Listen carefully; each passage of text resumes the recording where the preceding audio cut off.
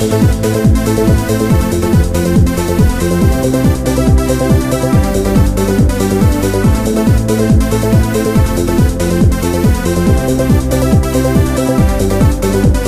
Sandra ist ne coole Sau, die hätte jeder gerne drauf. Sie macht gern mit anderen Typen rum, doch nur Sascha lässt sie ganz verstummt. Er hat schon oft mit ihr Schluss gemacht, doch Sandra hat da nur gelacht. Sie ist sexy, jung und hammergeil und dazu hat sie noch mega Style.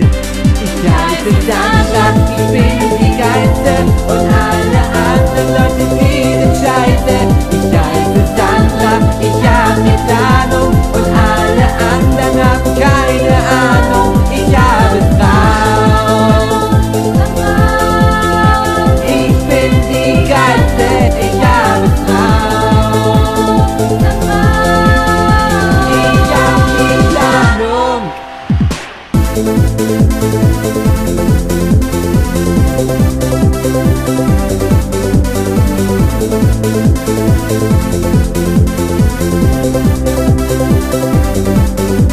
der Schule ist sie nicht sehr gut, die Noten schlecht, im Sport kein Mut. Der Schulchef hat sie gar nicht gern, die Grundschule will sie entfernen. Doch eins das schätzt sich an ihr sehr, alle Leute schaut doch jetzt mal her. Sie ist sexy, jung und hammergeil und dazu hat sie noch mega Style.